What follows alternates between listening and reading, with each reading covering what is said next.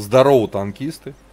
Всем привет, с вами Серега, с вами Индомит, и сегодня у нас очередной обзор мира танков от Лесты Game. Сегодня у нас на обзоре сверхтяж, японский, восьмого левела. О-Хо! Прокачиваемая проходная ветка. Да, аналог полный Корочуна.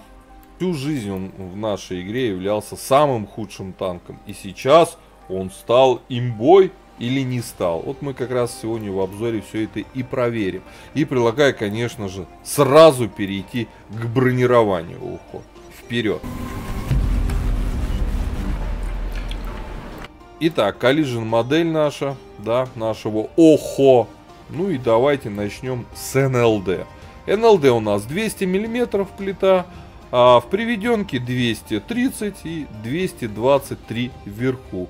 А нифига себе, да, не каждый тяжелый танк восьмого левела, я уж не говорю про семерки, а пробьет даже вот под таким углом это НЛД. Ну а если охо его чуть-чуть рамбанет, извините, 260 подвиньтесь, уже и голдой не бьется. Касаемо ВЛД, 105 миллиметров бронеплита в приведенке 215 вверху 232 что для ВЛД тоже неплохо рамбанули уже больше 300 и система пишет рикошет. Дальше смотрим подбашенную рубку. Вот, а в центральной части 217, люк мехода 219, надгусеничные полки имеют еще дополнительные углы наклона. Вот, а, и здесь у нас 303, сюда им точно лучше не стрелять. Вот, а, под пушками внизу 200, это надо помнить. А, пушки, да, дополнительные такие небольшие, там, мелкого калибра. А, башенки 200. И расходится здесь 250, 380. То если вы в них стреляете, ни в коем случае не стреляйте правее, левее. Стреляйте четко по центру. Тогда 200 и вы пробьете. Сама башня а касаемо маски орудия, под стволом 239, есть маленькая тоненькая щелка в 200, вот здесь у нас 200, 200, 200. Рядом с маской орудия вот эти вот переходы два, да, назовем. 203, 223, 223. Основная бронеплита башни 202, 202. Здесь у нас 386, 400, 350, там те же самые 400. Ну, чуть не так поставил. Вот. Касаемо бокового бронирования. 105, 105. Вот, здесь 105. А, от борта, ну, сами понимаете, ну, тут сплошной рикошет, да, что, что ныть тут, а, ну, ну, ну, это жесть. Танковать а, сам бог велел. Здесь 222, попробуй пробей, что называется, тоже достаточно крепко. То есть от борта играется хорошо, вот, а, достаточно неплохой НЛД. В ЛД, вот, кстати, более ослабленный. Здесь НЛД даже крепче. Раз, вот, очень сильно омрачает у нас основная вот эта бронеплита. Ну и, конечно, вот эти части а, башенок по центру, они тоже пробиваются на ура. Плюс вот эта зона 200. То есть вот эти овалы бьются. Бьются вот эта основная часть, за исключением маски. Хотя и маски тут тоже что 200. Короче, есть места, куда О-Хо пробивается достаточно легко.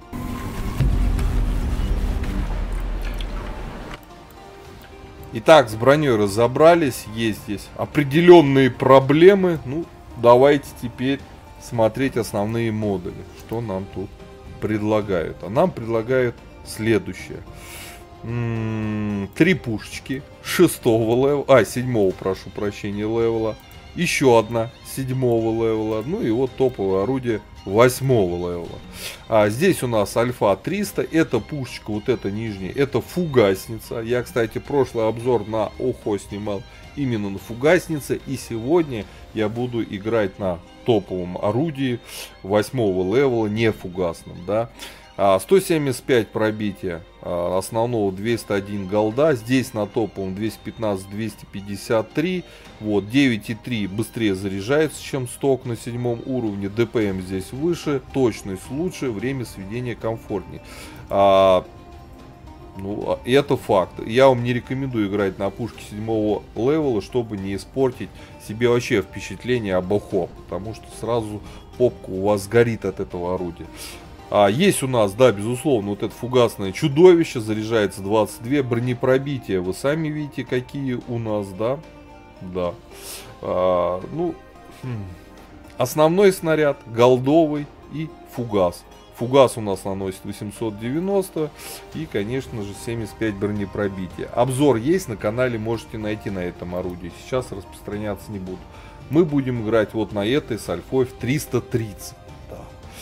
А, Дальше, касаемо, касаемо, касаемо рации, хоть это супер тяж, вы будете находиться на основной, на первой линии, так сказать, атаки и будете передавать данные по засвету вашим союзникам. Обязательно качайте топовую рацию, 750 метров дальней связи против 425, понятно, там и для арты будете передавать данные, поэтому обязательно качайте. У нас супер тяж, очень медленный, на стойке 1100 лошадей, на топе 1200. Ну, как минимум процентов 10 получите подвижности, ну и топовую ходовую тоже. Скорость повороту градус секунды 17 против 15. По полевой модернизации. Вездеходную ходовую. А здесь у нас дважды время сведения, проектировка шестерни наведения – а здесь звукоизоляцию, защита от арты, от фугасов. А во второй слот мы ставим мобильность, потому что мы туда будем ставить во второй слот турбину. По оборудованию, второй слот, если у вас мобильность как раз, сюда ставим турбину, первым слотом закалку и ставите досол. Ничего другого для этого танка даже выдумывать не надо, ничего ставить другого тоже. По снарядам, что голда, что под что основной снаряд у нас бронебойные, летят одинаково 916, различие только в бронепробитии 215, 253 соответственно. По снаряжению ремка, аптечка, а, огнетушитель, желательно автоматический, я поставил до паек. 6 членов экипажа перки вы сейчас наблюдаете перед собой в табличке. В целом по плюсам-минусам. Танк очень медленный, без турбины на нем ездить нельзя. Это факт. Поэтому это минус этого танка. Да, он медленный. По броне в целом можно было бы сказать плюс, если бы не было бы столько ослабленных зон, к сожалению. Поэтому плюс-минус. По пушке у нас есть УВН минус 10, нифига себе, минус 10. И это жир, потому что, в принципе, неплохое пробитие, достаточно хорошая альфа у нас. И у нас э, основной голдовый снаряд это бронебойный бронебойный, как лично для меня, да, особенно если это голдовый снаряд, лучше, чем подкол. Потому что ну, это ББшка в любом случае. Да, нормализация гораздо выше, чем у подкола. Вот. Время сведения немного, конечно, расстраивает, но точность, как для такой дуры, там в 0.36, здесь все огонь. По количеству хп на закалке 1870 и это хорошо, то есть количество хп достаточно много. И обзор у нас чуть выше стандартного параметра на тяжелых танках, потому что ну, танк силуэт все-таки высокий. Давайте уже отправляться в бой, пощупаем, а как ухо вообще играется в современном рендере. Погнали! Так, друзья, у нас обзор боем Охо, сверхтяж японский, восьмого левела. Да, полный аналог Крачуна. Сейчас поедем. На Карачуна подобный аппарате, да. Восьмой левел, проходная прокачиваемая ветка, все как положено. Вопрос только, где нам отыгрывать, благо, что нет арты. Это хорошо. Вот арты нет, это хорошо. Кстати, мы можем отыгрывать слева с угла, просто встать и от бархана. А, мы высокий танк и будем хорошо всех простреливать. Просто ехать на центр, биться. Ну, даже.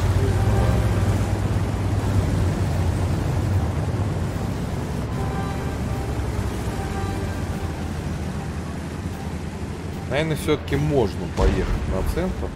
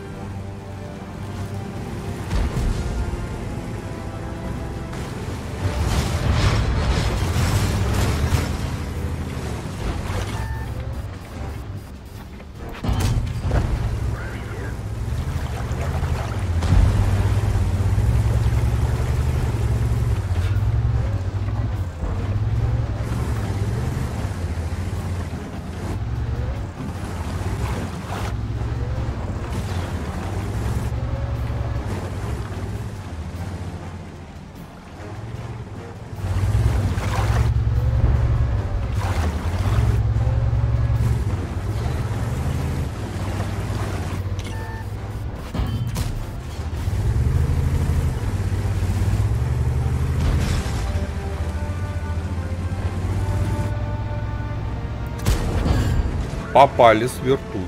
Стал.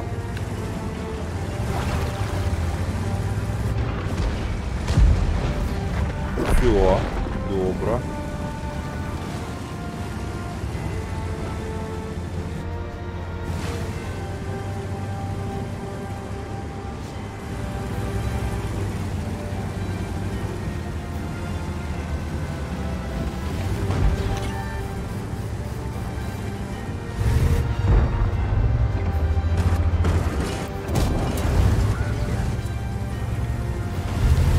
Гасим Корчуна.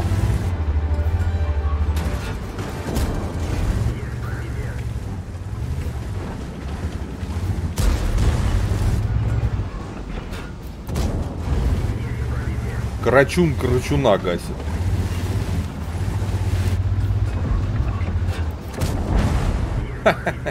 Во все щели его. И в башню, и куда только он не принимает. Бедный. Сейчас придется от него принять одну точку, да. Все.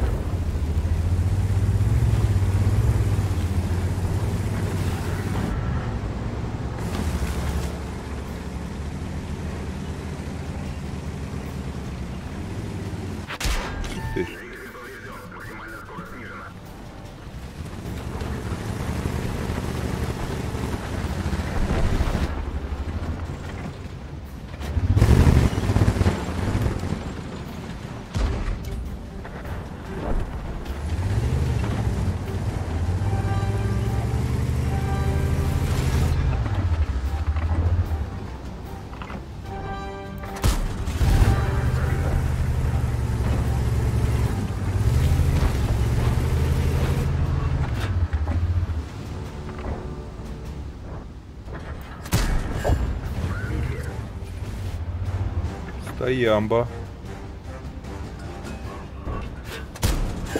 Стоямба на каточке держим.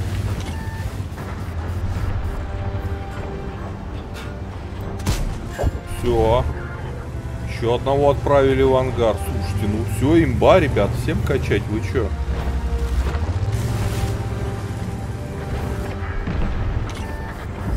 Всех перебили, бля.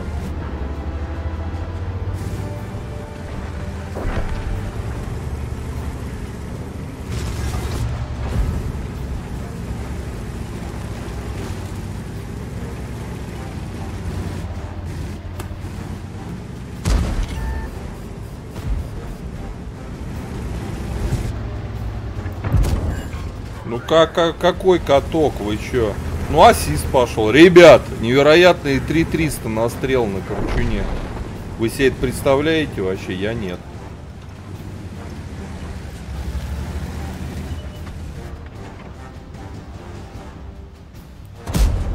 Все, убили. БЗшка там где-то, да? Или она сюда могла переехать? Ну, проедемся посмотрим. Так, суммы. Четыре с половиной к. Вот вам и Карачун, которого вы не любите в облике уха. Нет, ну вон он. Все, ладно. Ну, он поедем на базу. Вокруг прокатимся по ущелью. Короче, а, ну, а, после апа, Охо, он же Карачун, имея неплохое достаточно бронирование, теперь уже во лбу. Хороший, кстати, приятный КД а, у танчика. Достаточно комфортно сводится пушка. Имба, столько брони, быстрые КД, хорошая альфа, вон. Пожалуйста, больше 3К настрелять, как два пальца обоссать. Некогда был самый худший танк в игре, вообще самый худший. Не среди тяжелых танков восьмого левела, а вообще самый худший, да. Вот сейчас первое место по урону у нас. Индомита на да. А, ровно такое же оборудование я использую на Карачуне. Ребята, у кого есть Карачун, у кого есть Ухо, пишите свои комментарии, как танк вам после апа. Какое вы на нем, может быть, используете оборудование. Ну, блин, закалка, а, досел и турбачи, это Ахо, комплект оборудования Карачуновское, да. Как вам в целом танк? Пишите свои комментарии. Карачун, Ухо одно и то же, да. Ага. Пишите комментариев и побольше. Подписывайтесь на канал, прожимайте Лукаса. Мы этому танку по пятибальной системе теперь уже нынче можно смело ставить, ну я не знаю, там 4 с небольшим минусом. Вот, а я говорю, до скорых встреч. Пока. Поддержи брата-танкиста лайком под этим видео, подпиской на канал, ну и, конечно, прожми колокольчик, чтобы быть в курсе всех новых стримов и самых последних обзоров по нашей любимой игре.